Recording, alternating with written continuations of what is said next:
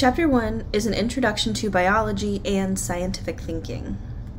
Biology is the study of life, so before we begin, we need to determine what is living and what is not.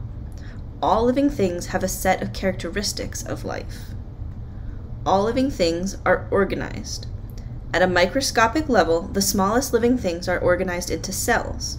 Larger organisms have many cells which are organized into tissues and organs, such as this flower. All living things reproduce and develop. Reproduction means being able to produce offspring that will also be able to reproduce themselves. Development refers to the changes our bodies go through as we grow up. All living things can respond to the environment.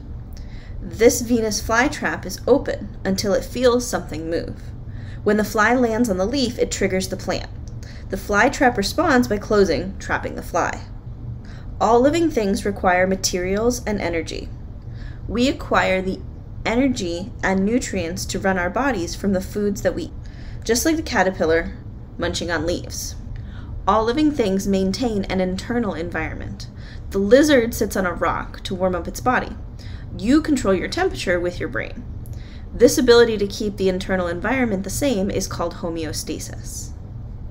All living things have the ability to adapt to the environment. Over time, individuals that are more suited to their environment have more babies than others who are less well suited. The seahorses that can camouflage will likely live longer and reproduce more. Eventually, we see seahorses that look exactly like the coral that they live on. When we eat, we get both nutrients and energy, but these two substances move through biological systems differently. Energy flows through systems, which means that it has an entrance and an exit. All energy on Earth originates from the sun. The light energy is captured by producers, like plants, and stored as chemical energy, for example, carbohydrates in the fruits and leaves. Animals eat the plants, and chemical reactions convert the energy from plant materials into other forms of chemical energy, like ATP, that powers the cells. All of the chemical reactions inside of organisms make up their metabolism. Every time a chemical reaction occurs, some energy is lost as heat. Once converted to heat, energy is no longer usable and it exits the system. Nu- nutrients do not enter and exit, they are always present and recycled through a system. For example, water is a nutrient. Water is recycled by moving through the water cycle, but it is always present on Earth. The process of changing to become better suited to the environment is called evolution. The word evolution just means change. Natural selection is the process that causes evolution. For example, we have a population of beetles living on a dark environment. This group of individuals has variation in a trait that can be passed on color. Dark beetles tend to have dark babies, and light beetles tend to have light babies. Birds are predators that hunt using vision. The light beetles stand out against the environment and are more likely to get eaten. This is natural selection. Over time, the dark beetles have more babies. Several generations later, the beetle population looks much darker.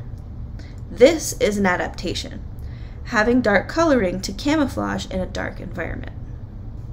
Life can be studied at many different levels, which are organized into a hierarchy. The smallest matter is a single atom. Atoms form chemical bonds to create molecules. Molecules can be small, like water and carbon dioxide, or large, like protein carbohydrates. Many different molecules are used to form organelles inside of our cell. Each organelle performs an essential function, together keeping the cell alive. A group of cells work together to form a tissue, and a group of tissues work together to form an organ or an organ system. Your nervous system is made up of a brain and spinal cord. Each of these organs is made up of nervous tissues, which is made of nerve cells. All of the organs of your body work together to make an organism, you. A group of like organisms that live in the same place is called a population. Members of a population can mate with each other. Groups of different populations make up a community. A community is all of the living populations in an area. This community has mangroves, seabirds, fish, and other life in the water. When you add to this the non living things as well, it is called an ecosystem. This mangrove ecosystem includes the living community, but also the non living nutrients such as water, air, and sand. All of the different ecosystems on the planet combined make up the biosphere of the Earth.